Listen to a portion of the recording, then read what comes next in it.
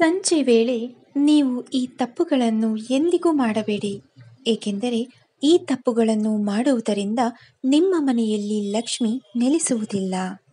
ಸಂಜೆಯ ವೇಳೆ ಮನೆಯ ಮುಂದೆ ದೀಪ ಅಥವಾ ಲೈಟ್ ಹಾಕುವುದನ್ನು ಮರೆಯಬೇಡಿ. ಸಂಜೆಯ ವೇಳೆ ಯಾರಿಗೂ ಹೆಪ್ಪಿಗೆ ಮಜ್ಜಿಗೆ ಕೊಡಬೇಡಿ. ಸೂರ್ಯ ಮುಳುಗಿದ ಮೇಲೆ ಯಾರಿಗೂ ಎಣ್ಣೆ ಉಪ್ಪು, ಹಳೆಯ ಬಟ್ಟೆಗಳು, ನೀವು ಉಪಯೋಗಿಸಿದ ಯಾವುದೇ ವಸ್ತುಗಳನ್ನು ದಾನವಾಗಿ ಕೊಡಬಾರದು. ಸಂಜೆಯ ವೇಳೆ ಕೆಟ್ಟ ಮಾತುಗಳನ್ನು ಮನೆಯಲ್ಲಿ ಆಡಬಾರದು. ಹೆಣ್ಣು ಮಕ್ಕಳಿಗೆ ಸಂಜೆಯ ವೇಳೆ ನಿಂದಿಸಬಾರದು.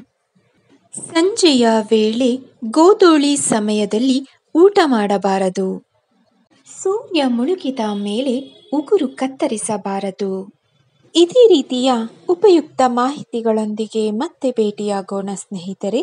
ನಿಮಗೆ ನನ್ನ ಚಾನಲ್ ಇಷ್ಟವಾಗಿದ್ದಲ್ಲಿ ಲೈಕ್ ಮಾಡಿ, ಶೇರ್ ಮಾಡಿ ಹಾಗೂ ಸಬ್ಸ್ಕ್ರೈಬ್ ಮಾಡಿ. ದೇವರು ಎಲ್ಲರಿಗೂ ಒಳ್ಳೆಯದು ಮಾಡಲಿ.